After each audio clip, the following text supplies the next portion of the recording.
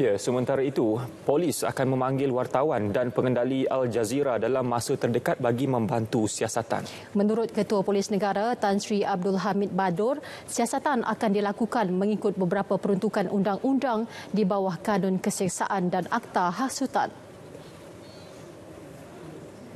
Oleh kerana ada laporan polis dibuat terhadap uh, laporan tersebut, jadi menjadi tanggungjawab PDRM untuk menjalankan siasatan untuk menentukan sama ada terdapat unsur-unsur hasutan ke atau salah laku uh, kesalahan dari segi apa juga undang-undang itu dalam siasatan akan dipanggil untuk uh, menjawab beberapa soalan. Soalan itu SOP lah